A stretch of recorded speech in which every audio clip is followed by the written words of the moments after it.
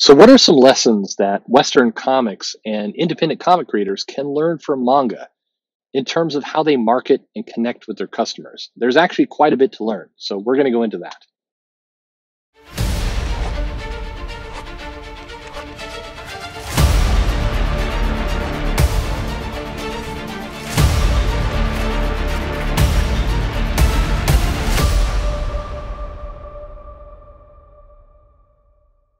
Hey, everybody, this is Perch. Um, recently, I talked about on Twitter, I talked a bit about how manga was doing a bit of a better job, in my opinion, of connecting with young audiences, with new comic readers.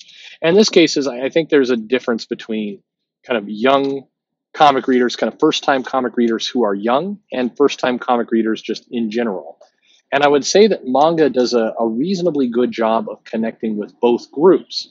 Uh, they there is a I, I just notice it from how when people come in and they're curious, they don't really have any experience beyond comics uh, that that a lot of people do. It's not like a lapsed comic reader who's wanting to come in and collect some new things or somebody who's wanting to get back into the hobby. Nothing like that. This is somebody who is uh, coming into comics for the first time. They've maybe they've seen some movies, maybe they've, they they know comics exist, and they're looking for something to pick up.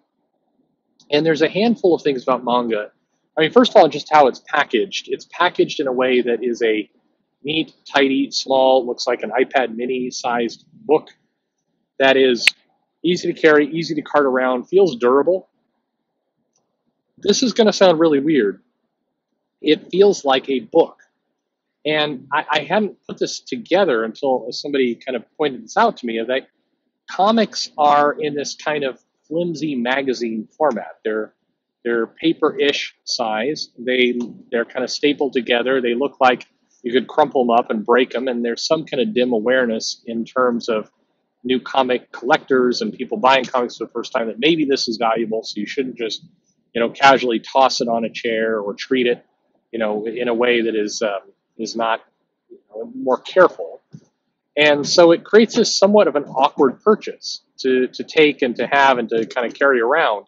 You can't carry around a comic. Like if you're walking to the bus stop and you're you're carrying a comic, it's just kind of an awkward thing to carry. You're worried about if it gets damaged, you're worrying about all kinds of things. But manga, in particular manga that's distributed here in the West, is almost perfect book size. It feels like it's got a harder cover. The interior pages don't look as, as they look both lower quality because they're often black and white, sometimes in flimsier paper, but also uh, simultaneously they look like they're more weather resistant in this weird way. Or, or, but I guess you just don't care.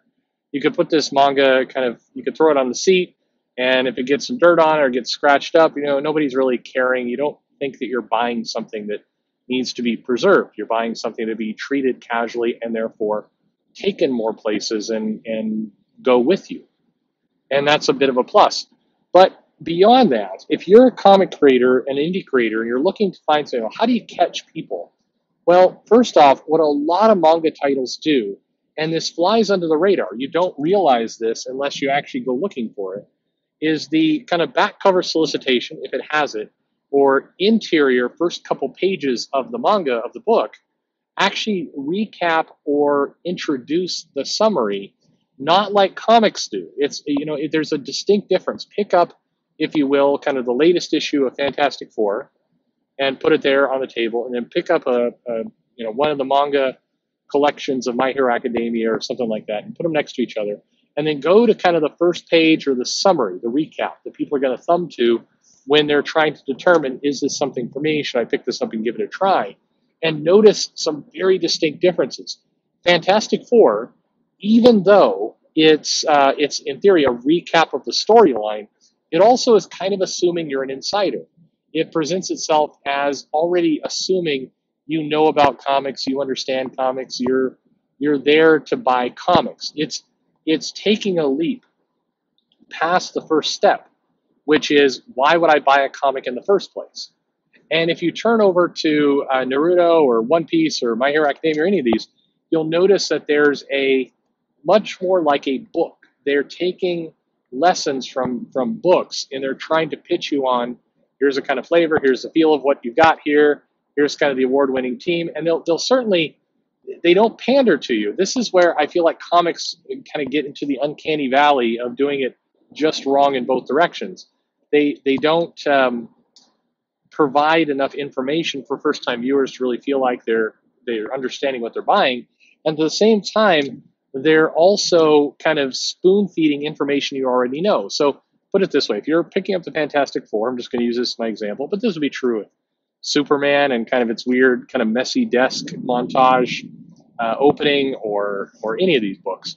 Um, the only one that's slightly different, by the way, is X Men. We'll get to that in a second. But um, you pick up these these books, and it's like, hey, it's another crazy day for the Fantastic Four, and you're you're okay. So right there, you're skimming past the idea that here's a comic book, you're going to get a story, here's what you're going to get.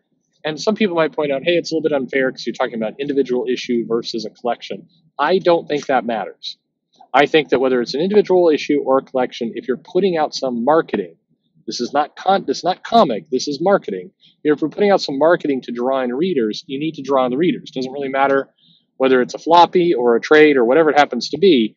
The goal is the same. You're trying to get somebody to pick up the book and take it to the register and buy it.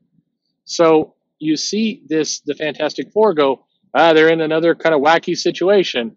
Mr. Fantastic, the guy who stretches. And, and that's their second mistake is one, you've assumed people are already aware of comics and kind of this, the background of this story and why you're picking them in the first place. But then you're going and you're really in a almost demeaning fashion um, introducing the characters. So you flip over to My Hero Academia, it doesn't say, you know, Deku, the guy who was a completely quirkless wonder who didn't know what he was doing and then got A of hair and now he's super strong and powerful but he's learning how to control himself. You don't you don't get that kind of the kind of introduction. You get something where the characters are treated in the same respect and treatment as a book and i've talked to a number of indie creators who believe they're doing this they believe they're putting out something that kind of shows respect for the source material that that treats their readers with respect but if they do this test, if they have put manga on the table, they put their book on the table, and they flip through one by one, they notice that the language they're using in their marketing is very different. It's very, uh, it's much more, again, it fits into that uncanny valley of both assuming that the person is already reading a comic, gets it, knows it, life is good, and simultaneously they are assuming that uh, the person kind of knows nothing about any of the characters and they're wacky characters. We got to introduce them and and be all silly with it. That's that's you can't take a super casual approach to this stuff, and that's what it feels like. It's very very casual. It's casual in the sense of yeah, we don't need to really pay too much attention about why you should buy this, and it's casual in the sense of let's just treat these characters like they're our old friends and why not and the problem there you have is is one, I don't think that even works for long time comic creators, but we're talking about bringing new people in. And for new people, it sounds both too insider and demeaning at the same time.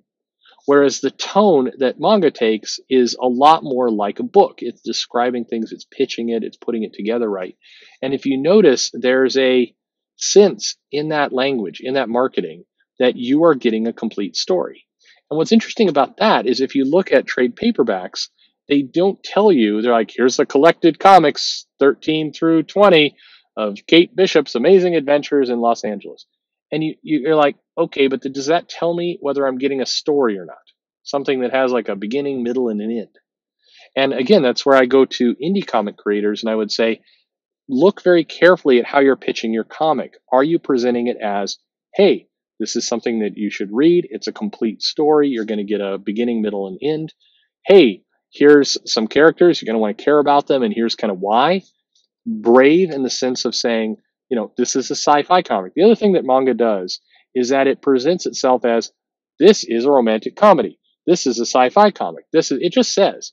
And it doesn't worry that somebody's going to come to it and be like, well, I was looking for a romance comic, but I pick up this sci fi comic and now I'm, now I don't want it anymore.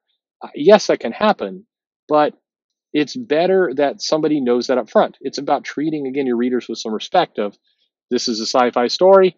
It tells the amazing adventure of blah blah blah blah blah, and they're going to have a big challenge in front of them. Will they be able to resolve it? Let's find out. that's kind of the pitch. And if you go over to the traditional comic recap, it's you know, uh, it just it messes up in a bunch of areas. It's like after suffering the big battle with the controller in the last story arc, like wh- why would you begin your recap that way? That's not it's not helpful to again bringing new readers in. It may be helpful as a a you know complete standalone recap, but when you're dealing with a 22 page comic, don't write recaps. People don't need that much information. You know, for for many years, Chris Claremont, Walter Simonson, uh, George Perez, others managed to convey the recap just as the story went along. They assumed that, hey, if somebody's picking up issue number 163, they probably read 162. And if they didn't, it's going to be interesting enough of a comic that they'll want to go back and find it. So we're not going to worry too much about it. We're not going to do a true recap of the previous issue because that's insulting to the readers. But what we will do, and you'll notice this in older Marvel trades, trades that came out in the 80s and the 90s, you will notice that there's much more of a book feel to how they were packaged and presented. When I say book feel, I mean that recap is the wrong word, but that, that synopsis, that here's what you got. This sounds like a very simple thing, and I'll probably stop this video in a second because I think there's a lot more lessons, but I'll I'll say here's the first one, and then we'll do more. But this is one like if you're a new creator, I, I read so many Indiegogos and Kickstarters that completely miss the mark in terms of providing a good synopsis, a good pitch to people coming in and wanting to read it. The pitch is too insider, too silly, too um, it, it assumes a bunch of knowledge the, the reader doesn't have, nor maybe wants. It just there's a lot of aspects about it where it's it's written from the perspective of the person creating the comic, not the person buying the comic, and that's the big trick. It's the person who's buying the comic is the person who matters. That's the person whose money you want. So you got to read it for them. you've got to read it, write it for them. That's what I meant to say.